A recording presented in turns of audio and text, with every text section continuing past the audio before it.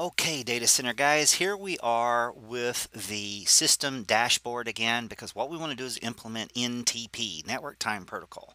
Now understand that we have the capability of being able to support multiple pods and in ACI a NTP assignment can be implemented on a pod by pod basis or we can configure it for default. My intention here is to go ahead and configure a uniform NTP policy since we're only going to be using a single pod but in order to be able to activate that we're going to apply it to the concept of all pods. So what I'm going to do is I'm going to go to fabric because NTP is going to be a fabric policy and since it can be implemented on a pod by pod basis it should come as no surprise that I'm going to go to pod policies and under policies I'm going to find NTP or date time as an option. Now the way that Cisco orchestrates this is beautiful because we'll create a policy, then we'll apply that policy into a policy group, and then what we will do is we will activate that policy group in a profile. So this is the order of operations that we're going to follow. So first of all, I'm going to look at time and date, and I'm going to right click here and make a new one. I'm just going to call it NTP policy. And in this instance, I'm going to administratively activate it and I'm going to leave the, the verify server state and authentication all disabled. All I've done is to set up a router in my topology to act as a time server. That router is going to be located at the IP address 10.1.1.1. It will be my preferred time server and I'm going to need to communicate via the out-of-band infrastructure to get to it because remember 10.1.1.1 is going to be one of the addresses in my 10.1.0.0 slash 16 network infrastructure. I'll go ahead and hit OK and then I shall finish. Now what I need to do is I need to take this policy and I need to activate it as part of a policy group. Remember policy policies, policy groups, and then profiles. So to do this, I'm going to make a policy group. Now this policy group, I'm going to call it a, let's see, we'll just call it policy group because I'm not going to do multi-pod in this configuration. And my option here, we see time policy, date time policy. I'm going to hit the down arrow and what there's my policy that I created. Now we're going to return to this when it comes to the route reflectors. Just remember that. But from the perspective of this, I'm now going to hit submit. Now, what has happened here is we've configured the policy.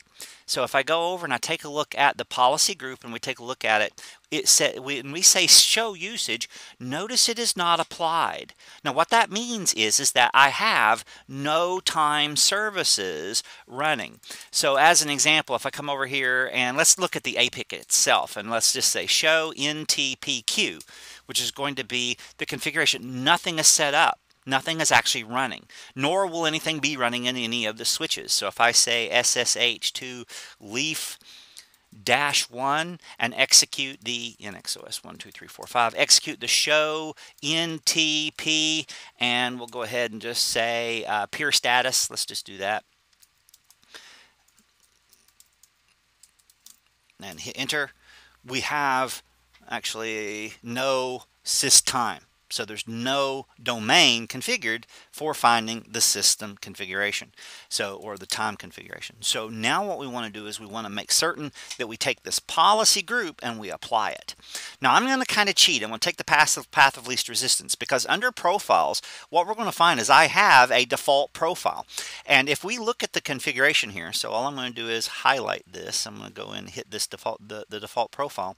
We see it's going to be all types, all blocks, which means it's going to be basically for everything. So what I'm going to do is I'm going to double click on this and what I'm going to do is I'm going to come over here and I'm going to apply the policy group to it and let's see if it actually applies. And we see beautiful output here. The policy usage warning tells me this is being applied to APIC 1, Leaf 1, Leaf 2, and Spine 1. So what I'm going to do is I'm going to go ahead and hit continue and let's see if this actually manifests itself anywhere. So now if I come up, and we may actually have to wait for this to synchronize just a little bit, but if I come over and say show NTPQ now, I'm hoping that I'm going to see some kind of output. Now, the delay here, because it's not actually throwing anything out, is basically encouraging me because it tells me that it's in the process of building that configuration.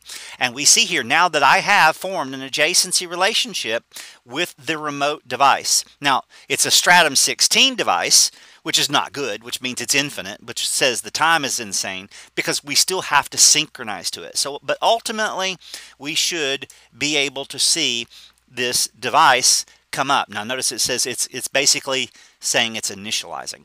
Now what I'm going to do is I'm going to go ahead and SSH to a leaf. So I'll say leaf 1. And from leaf 1 NXOS 1, 2, 3, 4, 5, all I'm going to do is let's see if we can do anything with NTP. So as far as the NTP command, let's say peer status and let's see what we see and we see here that I have peered. Now the problem here is, is that I it's still stratum 16.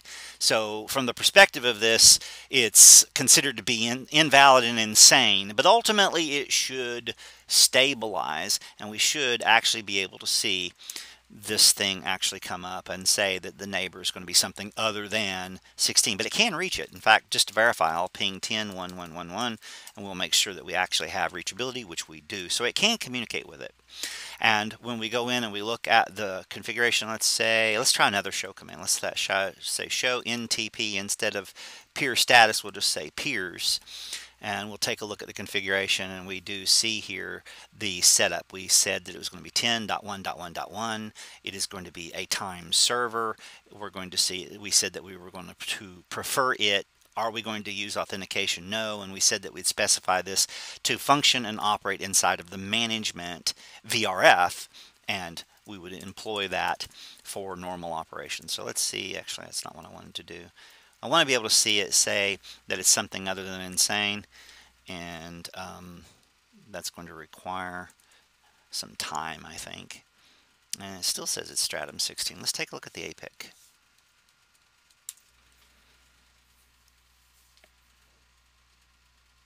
it still says that it's synchronizing. I guess I need to double check and make sure that that device is indeed working as an NTP uh, host, which it should be, because if it isn't, then I've opened all manner of problems. Uh, 10, 1, 1, 1. That's not good. Let's see what's going on here. In XOS 1, 2, 3, 4, 5. So let me double check that. That can't be right. I, I hit the ad, hit it because it said it was the IP address of my config. So let's take a look at the session options here. And telnet, but where is it trying to telnet to? Oh, it's telnetting through the term server. So let me do this. All right, so I'll just exit, exit. I'll close this. It's connecting to a port on the term server, so it's an actual direct connection to the unit. I need to connect to the one that says term server. And I'll do this and this and then I'll actually enable my connection and do this. And from here I'll say show NTP status. And we see clock is unsynchronized so show run pipe include NTP oh, show run pipe include in TP. Let's see if he's set up as a time source. So we have NTP server, we have a clock period, so show run. Let's see what's going on with this thing. I just want to look at the time server configurations for it. And it means I need to be very mindful of the settings because remember if the time server is messed up you can actually really really impact your configuration. So I'm actually connecting to an external time source and show NTP status and show NTP neighbor. Not neighbor uh, no um, just it's going to be association. Yeah that's what I'm looking for. So NIST it's a Stratum 1 device. Show NTP status. My time is saying it's unsynchronized, so I'm not able to learn from it. So that so the time clock is correct. The it is re reducing it or, or representing it as a stratum. So let me do this. Uh, show clock. I just want to see uh, do show clock. Let's look at the configuration here. So it's July 29th, uh, 2018. So I'm going to say NTP master stratum 1 and show NTP status and see it still says the clock is unsynchronized so I have a synchronization issue with the device that I'm getting time from because I wanted to make certain that that time was indeed good now that the master I basically said that I'm authoritative as a time source which is going to change my stratum to 1 so now let's see what ended up happening being learned in the queue here notice my time server, I'm learning it from a Stratum 1 device. And when we start looking at the implementation and I say SSH to say, we'll go ahead and just connect to a spine. Let's say spine dash 1 and in XOS 1, 2, 3, 4, 5. When I look at spine 1 and I say show NTP and I say peer, uh, is it stat? No, not statistics. Peer, that's right, show NTP peers, we should be peered with the configuration. And when I say my peer status, that's going to tell me what I'm learning from my neighbor and what my neighbor information has. And he says he is a Stratum 1 device. So yes, that's working. So the configuration was actually propagating. And if I come over here and I say show clock, what we should see here is, is that the clock should be synchronized and functional on the configuration.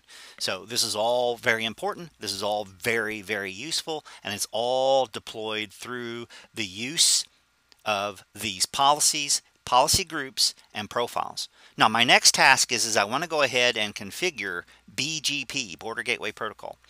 And I'm going to enable MPBGP by making Spine 1 a route reflector.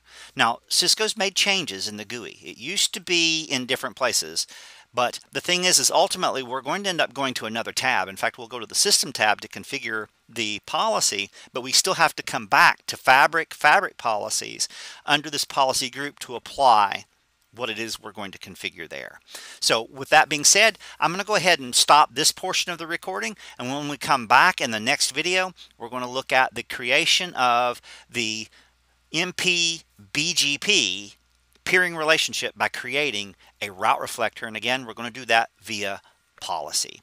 I'm Terry Vinson. I'd like to thank you for learning data center, and I'll see you in the next video.